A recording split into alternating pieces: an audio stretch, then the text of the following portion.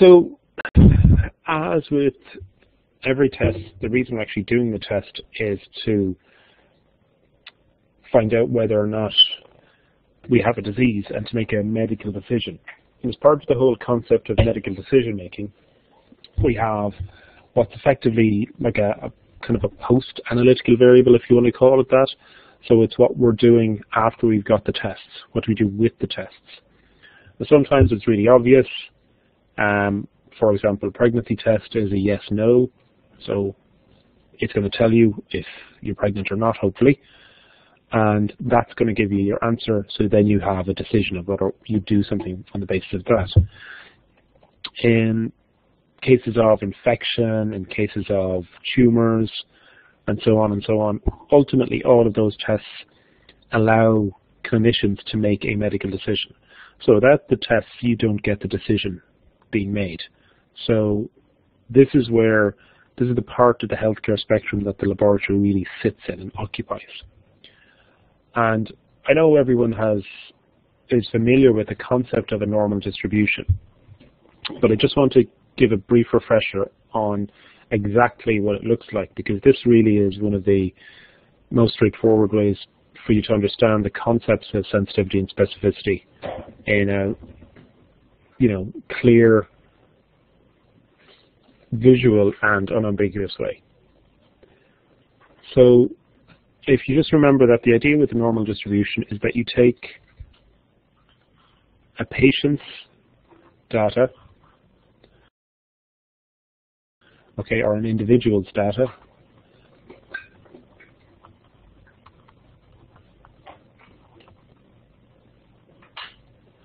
And we're always working with individuals in this case.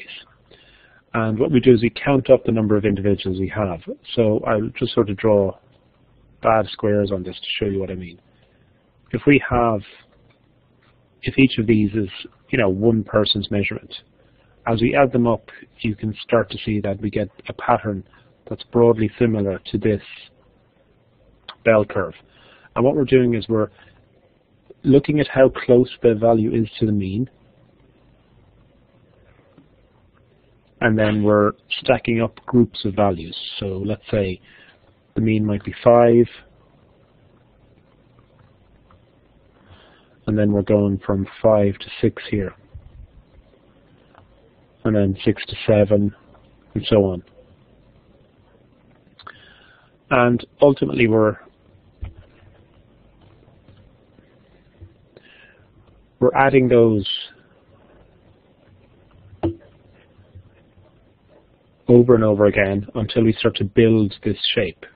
And where we get the shape from is the distribution of the numbers of individuals from our population who have values equivalent to that particular value, whether it's the mean or slightly above or below the mean. And in this case, we're normalizing everything to the mean. Okay, so basically it's a certain times greater than the mean or a certain times lower than the mean. And if we take the mean, which is the highest point, and obviously that makes sense, we should have the most number of individual instances of that sample when we have the mean.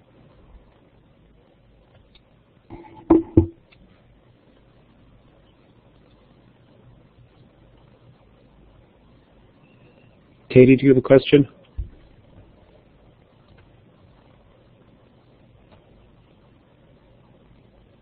Okay. So we should have the most number of individual samples when we have the mean. And the further we go from the mean, either above the mean or below the mean, then the less of those that we have. And that's indicated by the curve dropping. So the further away from the, the mean we are, the lower the curve is, and that corresponds to the lower we the lower the likelihood of those particular samples we have.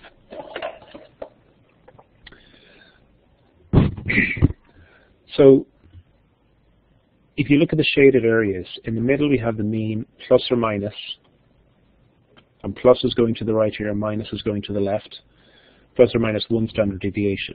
And in that range, you accommodate roughly 68% of the population. It's not exactly 68, but let's call it 68. It just makes life a lot easier. If we go two standard deviations away, we're going to get 95% of the population. And we've discussed already this idea about the p-value of less than 0.05 roughly corresponds to a 5% probability. And then the last one, plus or minus three standard deviations, that's pretty much everybody. So 99% of the results from people will be in th within three standard deviations. Now the reason I'm spending some time on this is to make sure that everybody is happy with the idea that the tails of this, so the dark parts that, that are shaded the darkest here and here, they represent they represent the rare events or the rare measurements. And the closer you get to the center, you get more and more common ones. And ultimately, if we're comparing uh, healthy and diseased, we want to be able to separate the common measurements that everybody has when you're healthy and the common measurements that everybody has when you're sick. So in an ideal world, with a perfect test situation, you would have something like this. Can everybody see that okay? Is it big enough?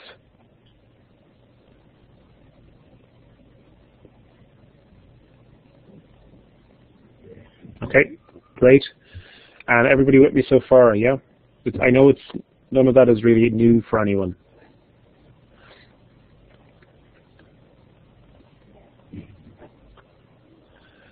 So this is basically the perfect case scenario where there's no overlap.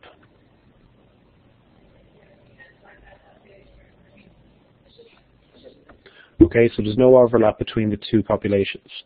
And in the absence of an overlap, then you basically have a situation where the test is going to give you an unequivocal answer. So everyone with no disease has a value on the left-hand side, and everyone with the disease is on the right-hand side. So there's no overlap. So if I measure and I get a value that is beyond this cutoff point, so this vertical line, then that basically indicates that I have a disease. If I'm below the line, that means I have no disease. So let's just start to see what happens when we have some overlap. As we begin to move them closer and closer together, you see that we now have a, a region in between the two where some people who don't have the disease will have values that overlap with people who do have the disease. And as we continue to push them closer and closer together, it starts to become very, very obvious that the overlap is causing a major problem for us and that many more people are now showing up in a region that's shared by both populations. And if we keep going to the logical extreme of this, we end up with nonsense. And I've deliberately left the text here in an unreadable way, just to highlight that when the distribution overlaps so much, the test is meaningless. We can't do anything with it. There's no advantage to having it. It's not even as good as flipping a coin. Effectively what this means is that for every patient who has the disease, there's an equivalent person with the same value of the test parameter, whatever it is, who doesn't have the disease. So long and short of it is there's no difference between diseased and control patients in this example. So do we think this is a good test then?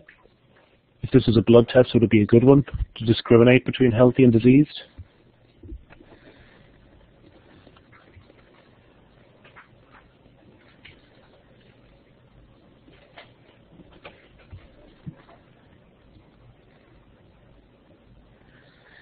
Yep, absolutely. It would be shocking. It would be pointless and it would be a waste. And it would be something that we would avoid like the plague. And even if you were in this sort of situation, you would avoid it like the plague. this probably still avoid. Um, this type of situation is getting close to what we would have under for many tests, and it's really sort of the goal of where we should be going. So we take the example like this, and then put our cutoff in the middle. We can define then a few different regions in this. And these are these regions are described by terms that you've probably heard before. So here's the, here are those terms in nice neat text, not my scribbles on the graphics tablet. So the values that are present, and I'm going to attempt to shade this now, and uh, if this goes horribly wrong, I'll just erase all the shading, but uh, my intention is to try and shade.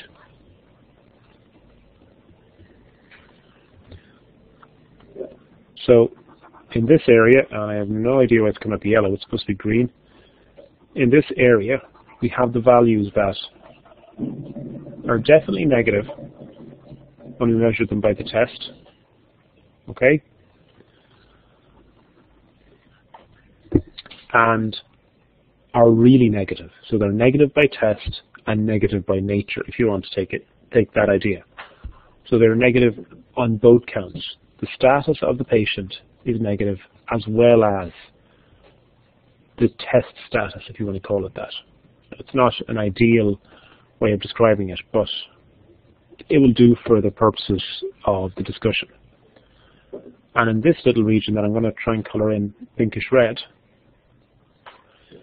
we have some people who are positive for the test, or positive for the the disease, so they have the disease, but they're showing up as negative on the test. So even though they're sick or have a clinical symptoms or clinic not a clinical syndrome, they are not registering as positive by the test. Okay, so they're considered to be false negatives. So they shouldn't be negative, they should be positive. And on the flip side of that, we have a true positive. Okay, so true positives are ones that do have the test, do have a positive test, and also have the actual disease or the the syndrome. So they are really that's sort of positive by name, positive by nature situation.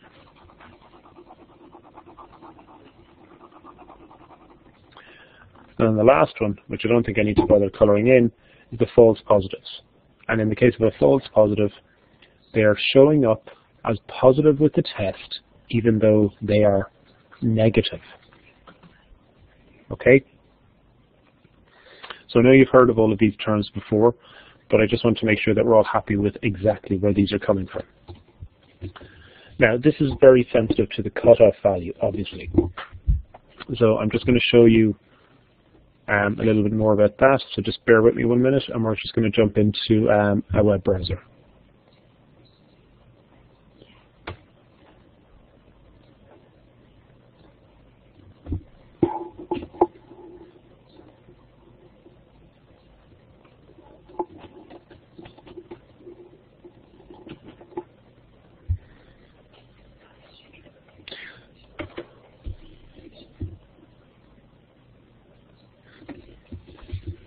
Um, we'll come back to that idea about borderline results, um, Philip. Basically, the borderline results would be considered to be at the edges of the tail. Okay, so they're borderline one. Are you talking about titers or are you talking about yes-no results? It depends on exactly how the yes-no. Okay, the yes-no result is based on a threshold that you've set up. True? So it's your threshold value that's influencing whether something is borderline or not. Coming from a clinical chemist point of view, I never like the yes-nos. I like the actual value because then that gives you the ability to decide yes-no based on a clinical parameter. But again, we're going to come back to that with the predictive, the powers of predictive values. Um, but basically, borderline results, in your case, because it's yes-no, your distribution won't follow the same type of bell-shaped curve. because the bell-shaped curve is defined on the basis of having a mean value, and you can't have a mean of yes or no, because that's don't know. It's in the middle. So it's done slightly differently. But we can come back to that. Um, I mean, if there's a couple of people, if there's a couple of people in the class who want to do something specific like that, from the point of view of positivity for uh, virology tests, then we can certainly do a, a little session specifically for you guys. Um, so just to check everybody, can you see uh, the magnificent ROC webpage with the skin tightener stuff at the top of it?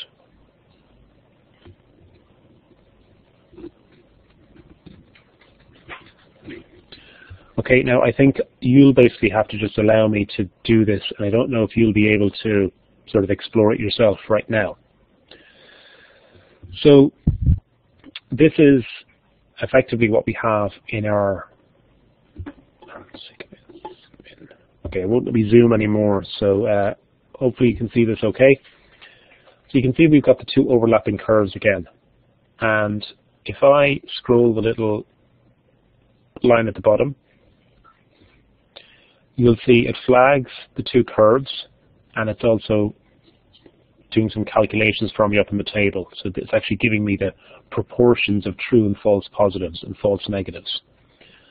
But you can see that there's a big overlap and depending on where I set my value, so if I if I want to make sure I have everybody who's blue, if I scroll very, very right up to the end, okay, I'm getting very low false positive rates, which means I'm not missing anybody.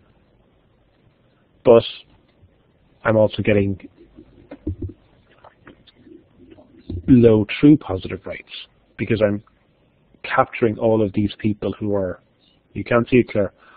Okay, right, I'll come back to this in a different way, so just bear with me.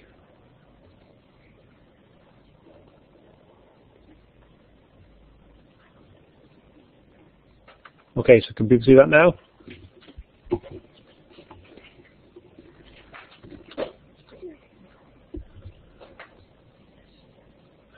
Okay, so Okay, so that hopefully should be better. And also lets me zoom in a little bit as well.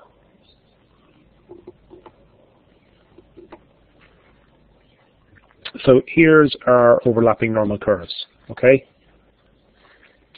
And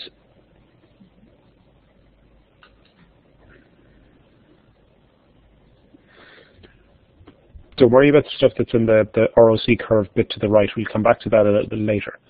So I'm going to separate my two curves, okay? So that's as, that's like the situation that I showed you on the slide a minute ago. They're pr pretty well separated, and I can set a, a cutoff value in the middle. By setting the cutoff value in the middle effectively maximizes the balance between the concepts of specificity and, sens and sensitivity. Whether or not I can actually really see what's there and whether I can distinguish what's who has the disease from who doesn't have the disease. So the more overlap there is, even with the same cutoff, the worse the test is going to be because I will pick up more and more and you can see the red curve is moving more and more beyond the threshold and as it moves beyond the threshold that's basically creating a worse and worse test for me from a, the ability to discriminate point of view. So ideally we want them well separated and we want a cutoff point that maximizes the sensitivity and specificity. Now it may be the case that in a screening test I'll happily take in some normal people. So in this case I've reduced my cutoff to an extent so that everyone who has the disease, i.e. who's in the red curve, gets picked up. But at the same time, maybe half of the normal people get picked up as well. So we have about a false positive rate of in and about 45%. Now, that's obviously not good. If you have an expensive test, you don't want to be testing a lot of people just for the sake of it. But if you had a really expensive treatment, it might make sense to test for people so that you can do a second line test and then rule out all of those people you've tested originally. So you're very sensitive, so you can find everybody, but you're not specific. So you find people who test positive but maybe don't have symptoms or clinical features consistent with that. So we'll come back to that a little bit later, but I'm just going to jump back into the slides for a minute now.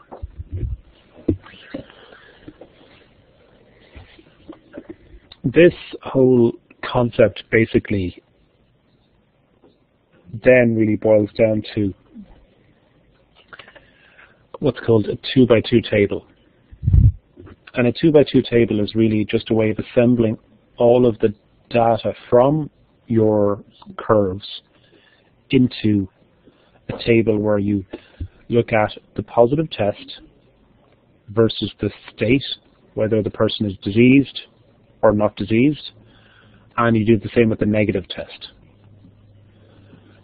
And what it allows you to do is basically figure out a couple of different characteristics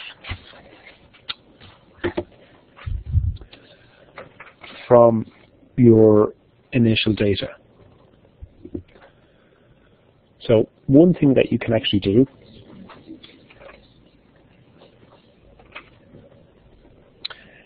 is work out the sensitivity. Well, actually, let's before we get into that, let's just kind of look a little bit more to our table. Um, I think this is pretty self-explanatory. Okay, so you take the disease, the people that you know have the disease, and then you see how many people test positive who have the disease, and how many people test negative who have the disease. You do exactly the same thing with the non-diseased patients, so you see how many people test positive who don't have it. Now I put the false ones in red and the true ones in green, just via the traffic light system. So in the negative tests, where they are not diseased and have a negative test, obviously that makes complete sense. That should be a real, genuine negative. But if they test positive, and again, think of your overlapping curves when you think of this, if your curves are overlapping, okay, you will test positive, but you don't actually have the condition. So you get a false positive. So we can take this two by two table and start to actually put it together to make those factors of sensitivity and sensitivity that we discussed, or that I mentioned, I suppose, a minute ago. And sensitivity is basically how many of the real, true, genuine positives, okay? How many of the ones that you measure are there as a percentage of all of the true positives, or all of the people who actually have the disease. So I've highlighted or I've shaded it a little bit here. Okay, so the idea is that true positives plus false negatives is everyone who's diseased. Because a false negative, by its definition, is someone who is diseased but tests negative. It's not that there's a problem with the test, it's that, well, okay, I say that, I'm, I'm not saying that in a very, very good way.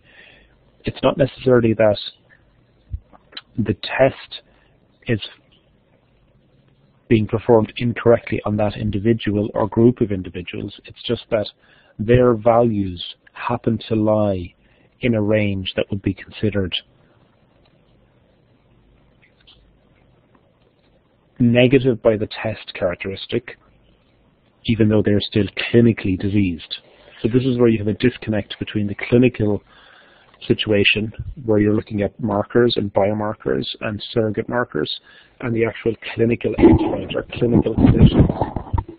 And this is a big issue in the whole study of biomarkers. Now the flip side of that is specificity, where we're looking for the true negatives, okay? So the ones who are not diseased and who also give us a negative test. But we have a certain proportion who are definitely negative, so they're negative, no disease, negative test. But sometimes we have no disease, but with a positive test. I'm sure you've all encountered those in the lab where you have people who flag up as positive for whatever reason, even though they definitely don't have whatever disease you're interested in. So are people happy enough with that, those concepts of sensitivity and specificity?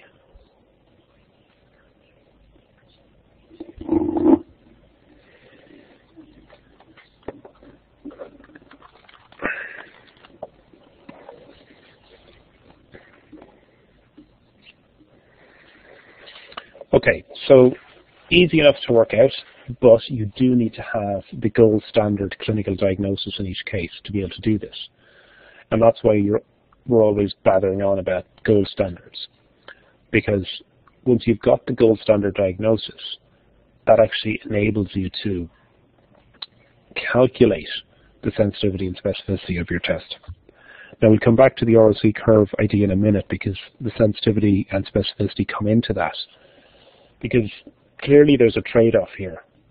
If you make your if you make the cutoff too low, you're going to get more false positives. Okay? So you want to maximize your true positives, maximize your true negatives, and minimize the false ones. And that kind of goes without saying. And to do that, you need to optimize those two characteristics. And one of the ways that's really come to the fore about doing that is the ROC curve as opposed to just, uh, let's say, a more experience-led approach where an investigator might decide based on their clinical experience that there's a certain threshold that they should use. So there is a bit of a tension between these two things. Um, and the arrows are meant to reflect the tension, not necessarily give you a direction of the tension. So from a specificity point of view,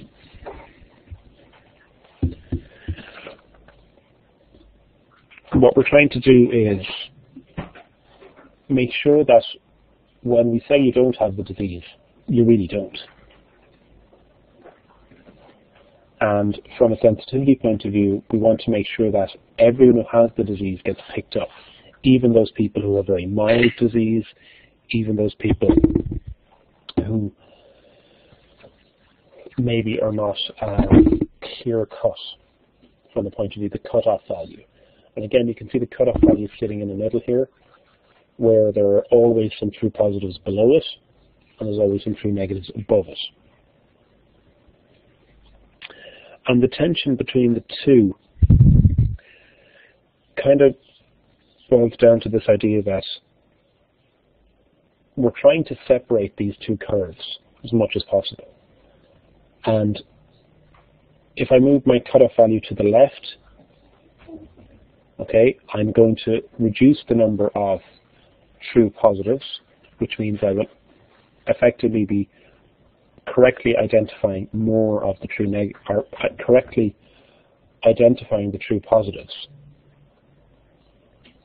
Okay, as having it, but at the same stage I'm identifying a lot of the true negatives as having it as well. But there's always a proportion of negatives that I'll identify that definitely don't have it.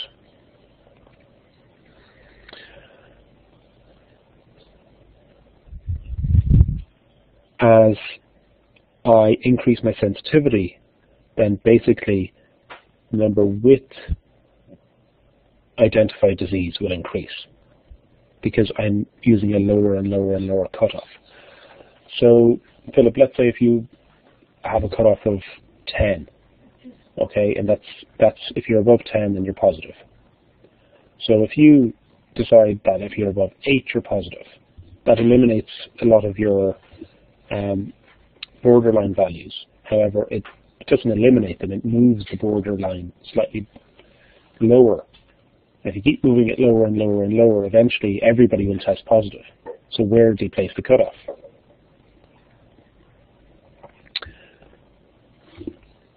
one of the things that actually can happen, and this is something that will be true for manufacturers' tests, is that often they'll report really nice false positive rates. Typically, those false positive rates are determined on the basis of a nice healthy population and so on and so on. But in the actual sort of wild population, the false positive rates will likely be higher than the manufacturer suggests because you will have people who are not, you know, sort of standard healthy people. You'll have people who are perhaps at different stages in a disease. So they may be a little bit sick, they may be absolutely fine, but it won't be as good as, let's say, a manufacturer or a developer's numbers. And that's one of the reasons why you actually need to work at your own ones. So I mentioned this idea about decreasing the cutoff. So if you decrease the cutoff, you increase the sensitivity, but you decrease the specificity. So again, that's your trade-off. And ultimately what you're trying to do, particularly in a, in a diagnostic system where you might have two tests, you want to try and modify your sensitivity or your cutoff value to have the least harmful and least costly. And the cost and harm depend on your kind of your the the rationale that you have for working with these. So you may want to decrease you may want to pick a really cheap screening test first. Okay, so you have a low cutoff but you use your cheap screening test so you can screen everybody. And it's the people who come back as positive on that that you can actually do more work on. With the more specific but more expensive test. You don't do the extremely expensive specific test on everybody when you're screening because that wouldn't be a good use of resources. Um, and it may not even be desirable to do that from a clinical or a diagnostic point of view, even theoretically.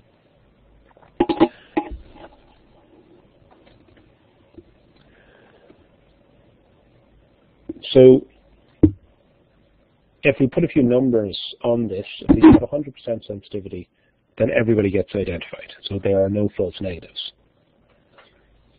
If we have 80%, then only four-fifths of those with the disease will be identified, and everybody else is left as undetected. So they have the disease, but from our test point of view, they are disease-free.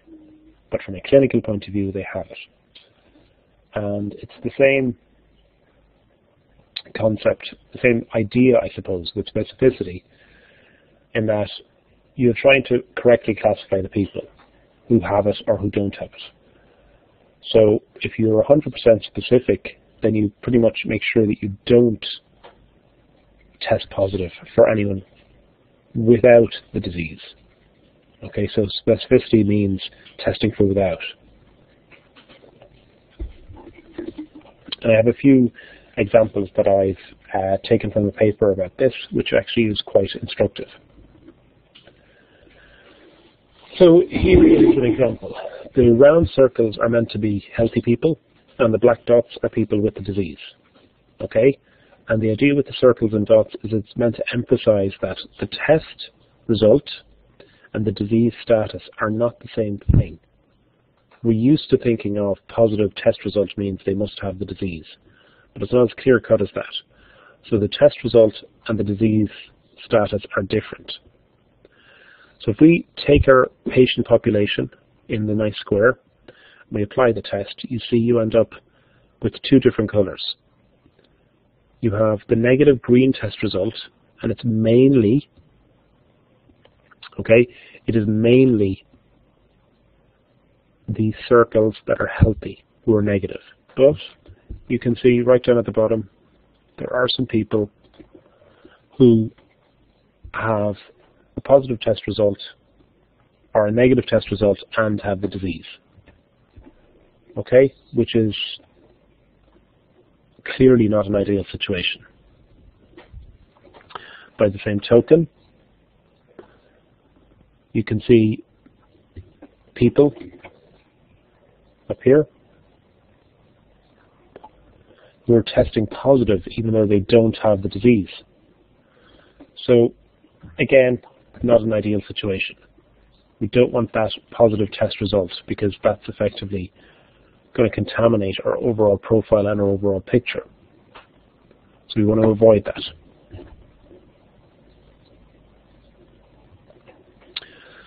So here we have a total number of 30 people, okay, who have the disease.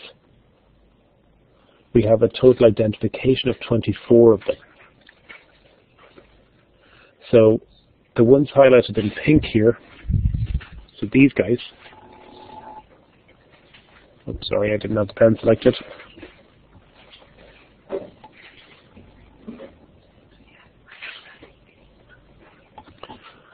Okay, they have the disease and they have a positive test, so they are true positives. On the other hand, these guys are negative and they have the disease. So they are false negatives. Okay? So if we take the total number that have the status of being diseased is 30. The correctly identified ones are 24. That gives us a final sensitivity of 80%. Is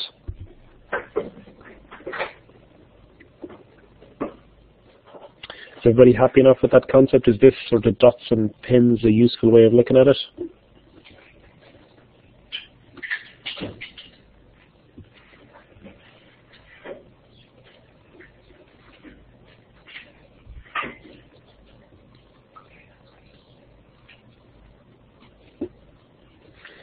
Um, Lizzie, basically we have 24 Hang on, I'll get a skinnier pen.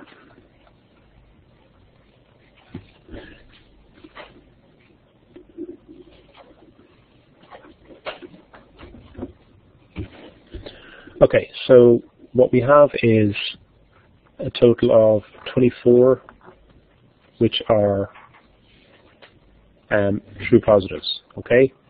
We have six which are false negatives. So that's a total of 30 with the disease. So when we're working at the sensitivity, it's true positives of 24 divided by 24 plus the false negatives, which is 6. So that's 24 over 30. So they are effectively lowering the sensitivity. If these guys had all tested positive by the test, that would be a total of 30 over 30. So it would be 100% sensitivity. If we take the example where, let's say we make, um, let me just get a color to do this.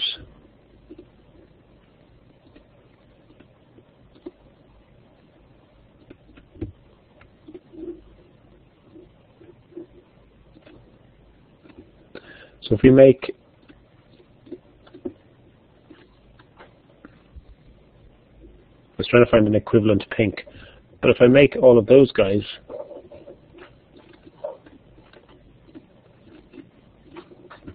if I make those three um, also be positive tests, so that means I have a total of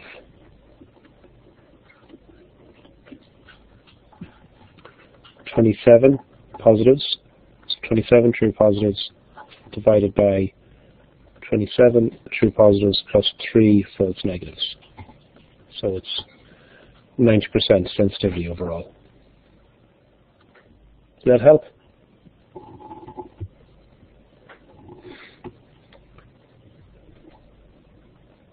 We'll come back to that in a minute. We're just on sensitivity now.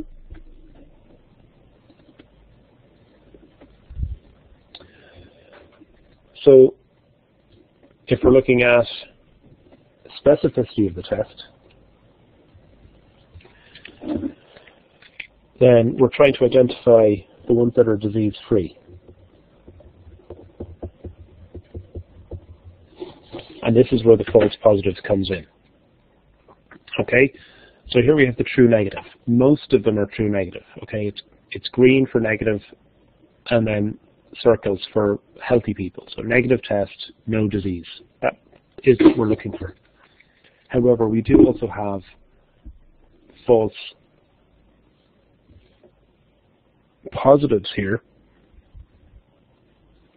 because a proportion of our results are actually coming up as positive, even though they are well. Okay? So these guys are all positive tests, even though they're well. So the pink, or salmon pink, this subsection are testing as if they are positive, but because they're circles, that means they don't have the actual test. And the way we're going to work that out to get our specificity, it's true negatives, and in this case we have one, one, two, three, four, five, six, seven times eight as our true negatives, so that's 56.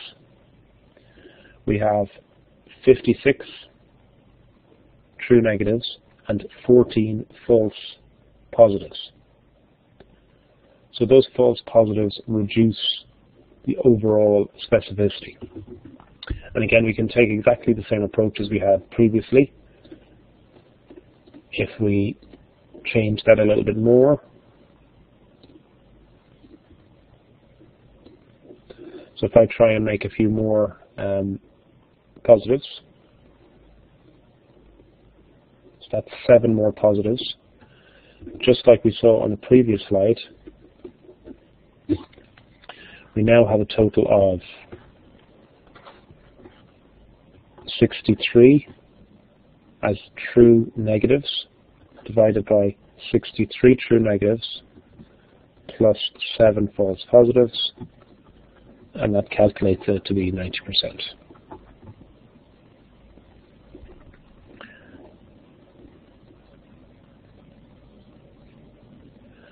So just to recap on those, it's the true positives that we're looking for from the point of view of sensitivity, because we're trying to find everyone who really has the disease. In specificity, we're trying to find the people who are disease-free, and that's really when the false positives come into play, because false positive means you're testing yes, your condition is no.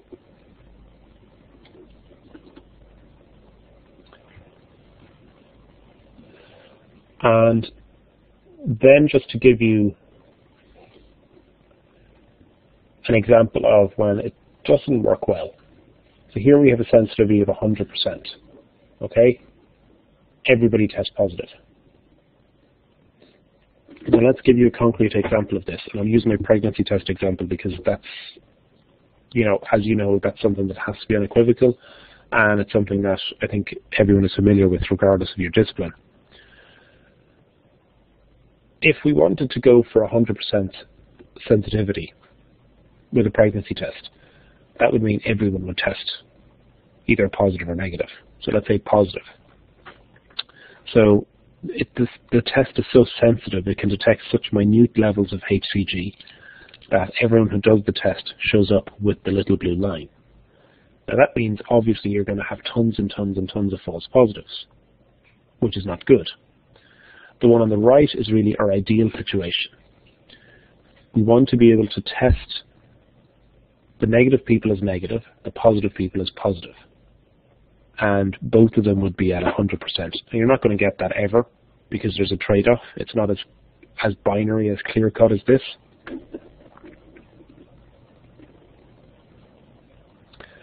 And I got one last one on sensitivity and specificity. So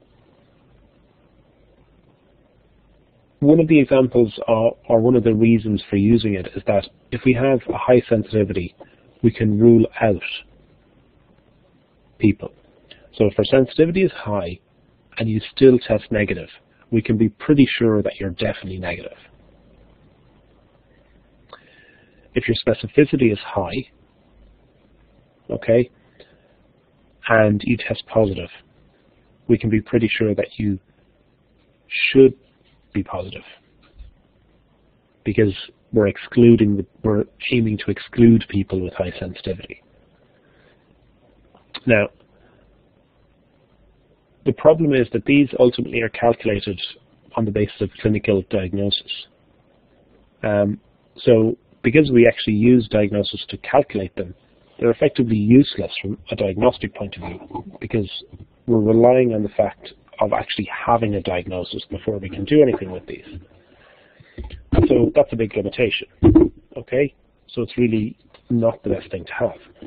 So what's much more advantage, or advantageous even, is to use the idea of predictive values.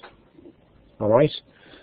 And predictive values are basically when we take a patient's result and we try and figure out whether or not that result is likely to have occurred. Now, it sounds a really bizarre way of looking at it, but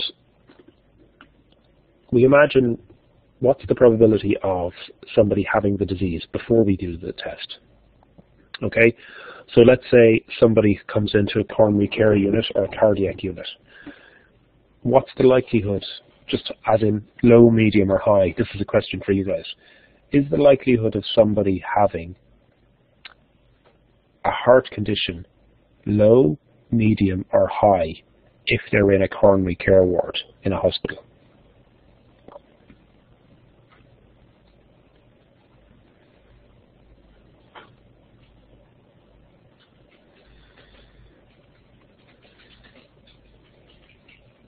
Okay, so you're on an agreement the likelihood is high. So before you even do the test, you have a high probability or a high index of suspicion that they have some sort of disease. Right? Then you go and do a test. And after you do the test, you will have what's called a post-test probability. So it's basically the likelihood that they will have the condition when you take their context into account, as in someone who's in a coronary care ward, and when you take the test result into account. So someone in a coronary care ward with positive markers for cardiac damage, okay? Whether it's CK or whether it's troponins. But with positive markers of cardiac damage, that gives you an even greater likelihood or probability that they will have the disease or the condition.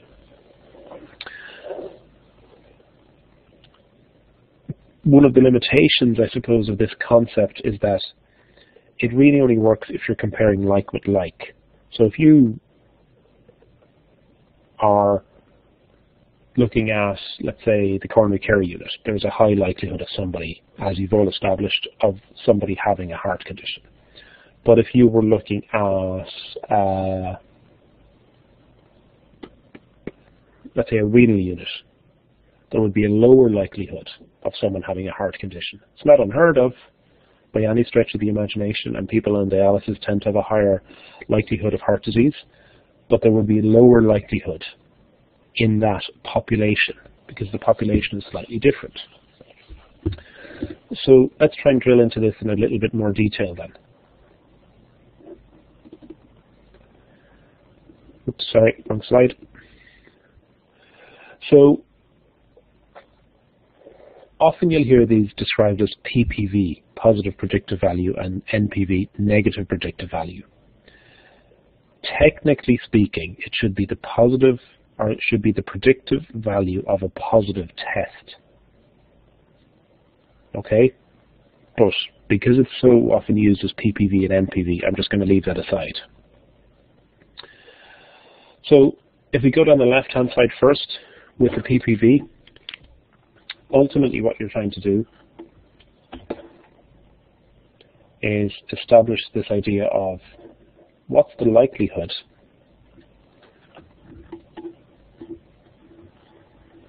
going on this side first.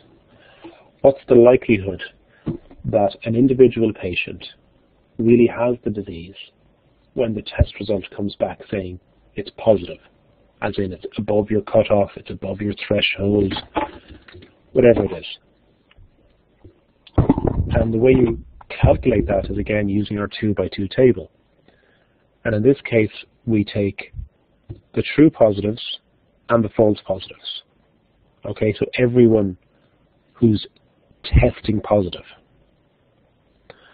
And we divide, we take that sum and we divide that into the true positives. So effectively what you do is you get, you express the true positives as a percentage of all the positives. Okay?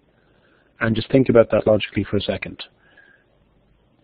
The false positives are positive but not disease status.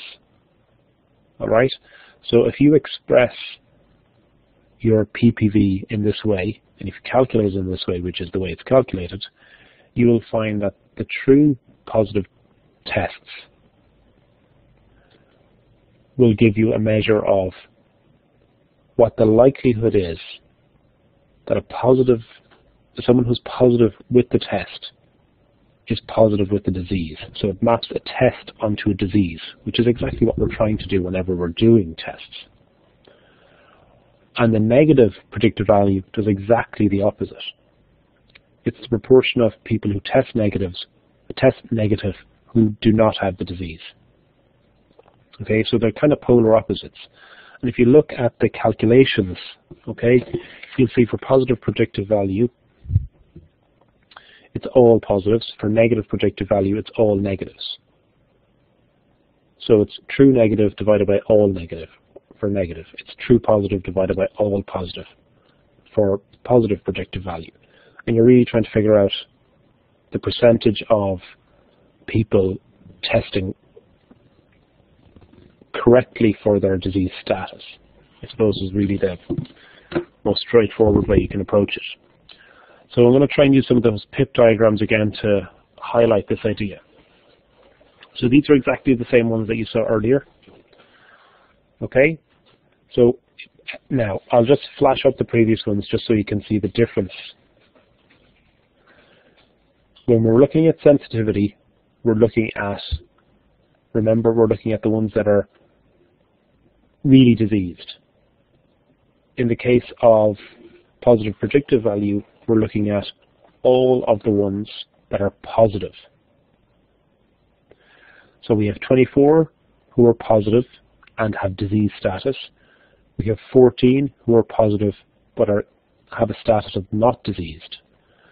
So if you put 24 over the, whatever that is, 38, multiply it by 100, you'll end up with about a 63% positive predictive value which means that for this population, okay, you have a 60% chance of correctly identifying, or someone who has a positive test has a roughly two-thirds chance of genuinely having the disease, which is not great if you think about it.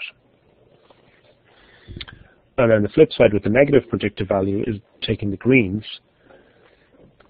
you can see that there's an awful lot of negatives who don't have the disease, which is sort of appropriate.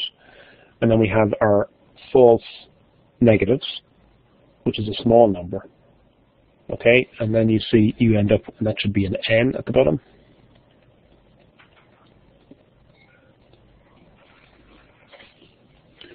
You end up with a negative predictive value.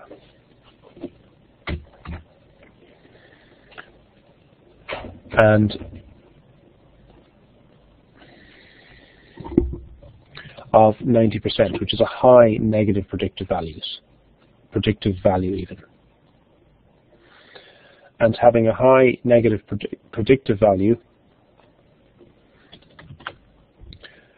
would mean that you can effectively rule out people who test negative.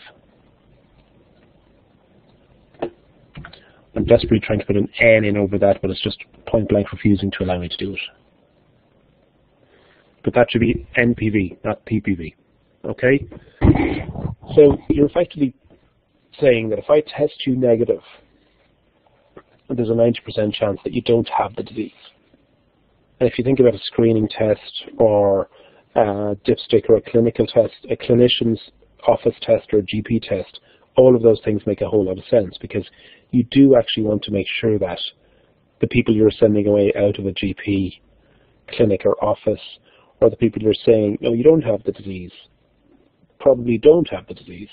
So you want to get that as high as possible. Now, there is a caveat with that, okay? And we sort of discussed this a little bit at the start with the coronary care unit. the idea underneath PPV and NPV is fairly straightforward. The probability that the result is consistent with the presence or absence of a disease. However, PPV and NPV will be clearly influenced by the population. So if you think about that clinic again, our coronary care unit, if we get a positive test in that, it's much more likely to indicate that those people have a coronary disease. Whereas if we just take random people from the street, they have a low likelihood of the disease, so the positive test is unlikely to indicate that they have an actual coronary disease, even though they test positive. So it's beyond positivity here. Yes, the test is fine, the test is working. However, as a general rule, their probability of having the test or having the disease will be low. So just having a positive test doesn't massively change their likelihood of having the disease. And again, this kind of comes from the concept of where these are calculated from. If we have the average Joe situation, where we just go and test people in the street, we are much more likely to have lots and lots of false positives and low numbers of true positives because there's actually a small amount of people walking around out there with serious coronary disease. They're all in the hospitals. So our true positives will be low or false positives will be proportionally high. So our positive predictive value will be terrible. And just to kind of highlight that concept for you, if we have a prevalence of a disease that's very, very low, so less than, well, 0.01 of a percent, so one hundredth of a percent, even when we have very, very high sensitivity and specificity, and you can see here this column is 90% both, and the next column is 99% of each, So in this case, even when we have really, really good tests, the predictive value is rubbish because there are so few people with that actual disease out there that we really can't detect them because they're not there to be detected. If we jump up to a prevalence of 5%, okay, which is still fairly rare if you think about it from a clinic point of view, you can see that with a high, with a 90% sense and spec, you still only get a very, very poor positive predictive value. And you really need to have almost perfect sensitivity and specificity, which is typically not easy to come by, to start to home in on anything approaching a useful level. And 83 or 84% would be quite handy to have for playing around with. And then you see the, the last one here, if you've got 50%, with a 90% sensitivity and specificity, you're going to pick up, you're going to correctly identify people, or you're going to identify people most of the time. And you're going to correctly flag people with the disease most of the time. And if you're at 99%, obviously that gets even better.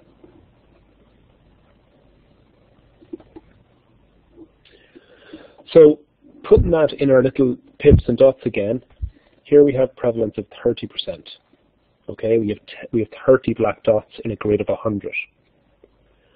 The sensitivity is the same in each case, but the PPV changes drastically. So if the prevalence is 30%, and this is the same example we saw a minute ago, the PPV is 0.63. And look what happens if we drop the prevalence. Okay? The positive predictive value is lower than half. The negative predictive value increases because there's more negatives. So that's good. That's a way of, of ruling out people. And this, these, these changes that I've highlighted at the top, they are independent of sensitivity and specificity, which have not changed. Sensitivity is still 80%. So it's 8 out of the 10 samples. 24 out of 30 is the same as 8 out of 10. Specificity is 72 out of 90. it's still 80%.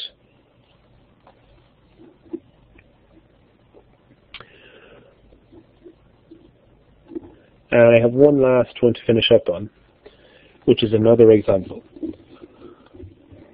So here we have a very, very good test, and in our population of 4,000, half of them, so we have a prevalence of 50%, okay? We screen 4,000 people. We'll find 99% of them, or 1980 are true positive. 1980 are true negative. And then the remainders are false positive and false negative, respectively. Okay, because remember, only half of our 4,000 people are actually sick. In this case, because we have so many sick people, it, the test has a very good positive predictive value, i.e., a positive test result is a strong indication that someone has the condition and should be classified as disease status positive. Now, if you have a lot less people, so scenario two, um, we have only 200 sick people. Same test, screen the same number of people, are 4,000, but only 200 are sick. And now we find out that because we have less sick people, our positive predictive value goes down. Now, it's not a drastic, drastic drop, but it's definitely a drop. And what it indicates is that we're not as confident, I suppose, that if if only one in ten people has the disease, okay, when you test positive, the ability of that test to predict the truth of you having the disease has been diminished compared to if one in two people is coming in the door sick when you do the test. Because you you almost have an expectation of somebody being someone being really sick versus an expectation in, in scenario two of people being healthy. So does anyone have any questions on that? I know it's a little bit of an esoteric concept to get your head around. But it is one of the sort of biostats concepts that does permeate most of laboratory medicine.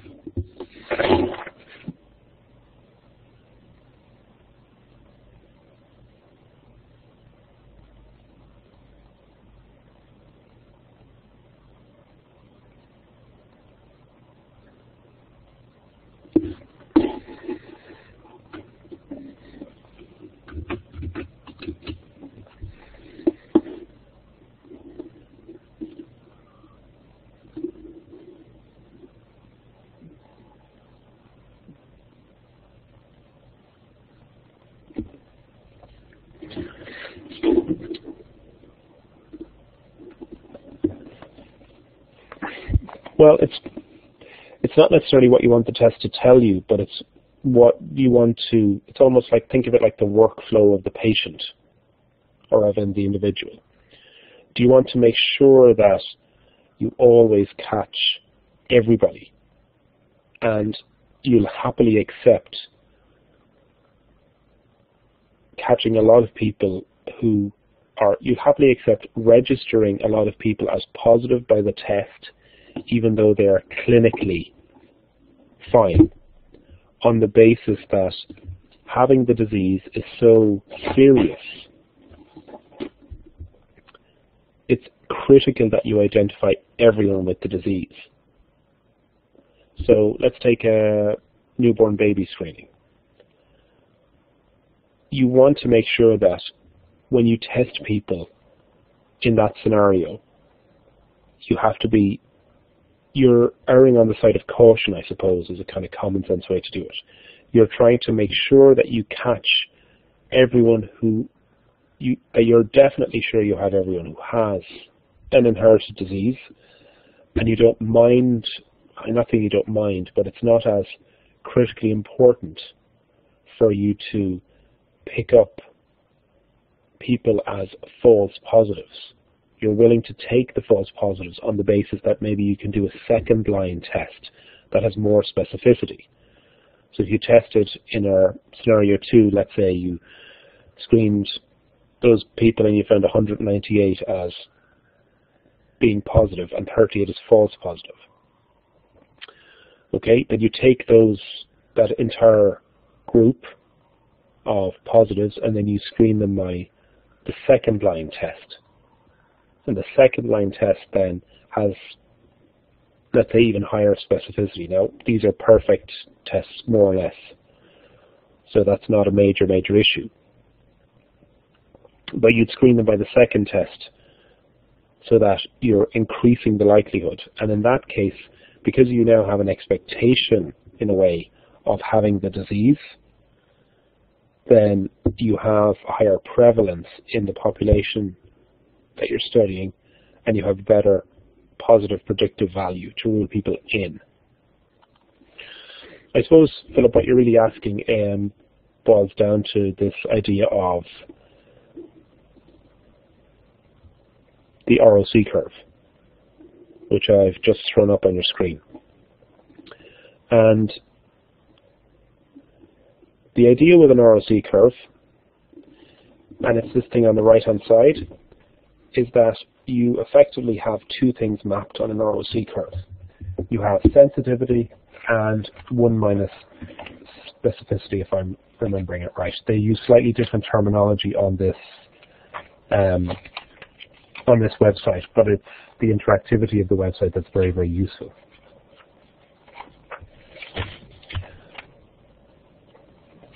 So the idea is for a perfect test, okay, so the y-axis is sensitivity here, and I can't write on this one, but that's sensitivity, and this is 1 minus specificity. For a perfect test, it should be right there up in the top corner. So I'll show you a really terrible test. So there's extremely highly overlapped populations. And if you look at the, there's a sort of a blue and a red crosshairs, and this is really where I'm, I'm remember sensitivity is on the y-axis, so the red line is a measure of sensitivity, and the blue line is a measure of specificity. So as I move along, and change my cutoff. I'm changing sensitivity and specificity. And I'm changing the performance of the test. And the place where I get the best trade-off, which is smack bang in the middle, that's the bit that's closest to the top left-hand corner. So it's closest to 1 on the, on the y-axis. If I separate the curves, you'll see it starts to push itself towards 1 it gets closer and closer to 1.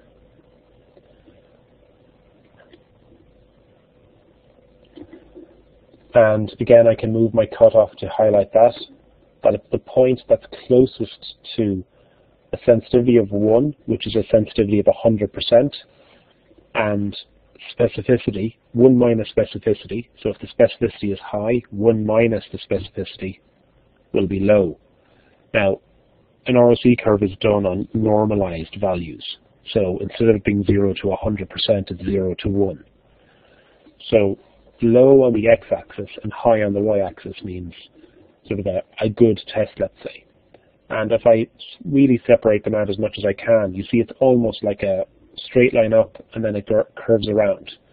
Now I can adjust my threshold. So if I lower or if I increase my threshold, okay, my sensitivity changes, but my specificity, 1 minus specificity hasn't really changed. If, or if I increase my threshold, sorry.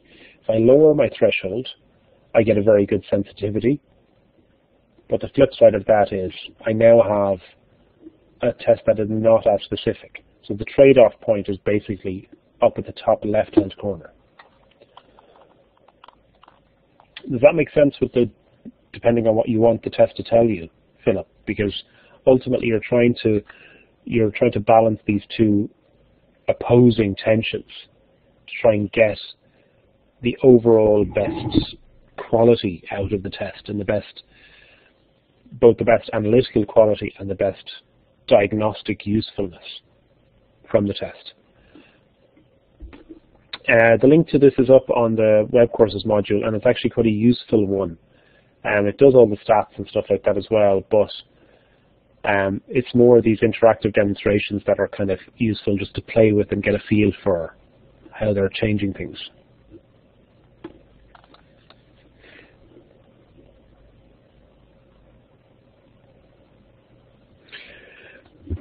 The specificity, Lizzie, can be in the kit, yeah, but as I mentioned this idea before that when you're taking the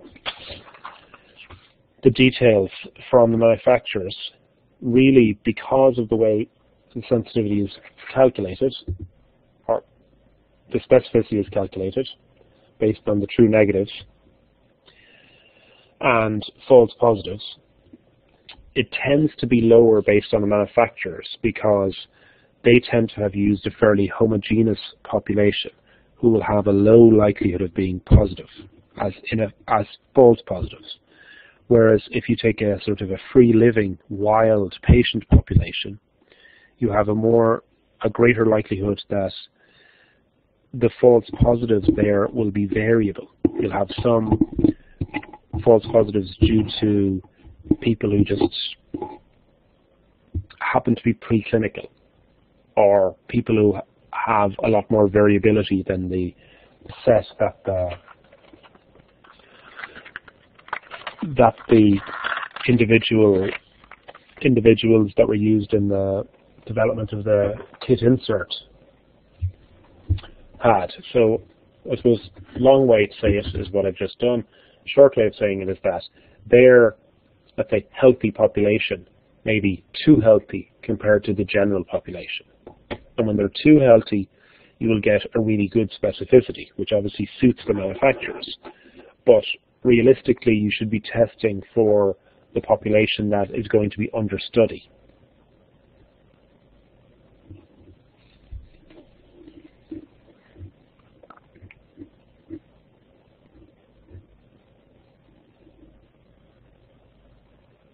Does that make sense? Okay, I'm seeing okay, so I'm taking that as good. Right, guys, um, I'm going to wish you all a happy Christmas. In case I don't touch base with you all again, um, we're not going to have anything next week, okay, because I know um, many of you are going to be studying, and I will be releasing the research ethics thing um, shortly. I'm just finalizing that, and I have uh, a thing for the master's second year one that I'm finalizing as well.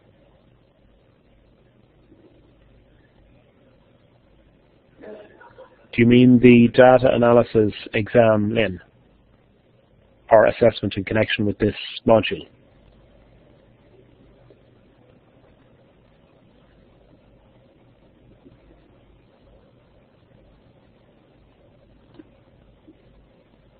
Do you mean hematology and red cell? Yeah, the past papers are up. Do people know where to find past papers?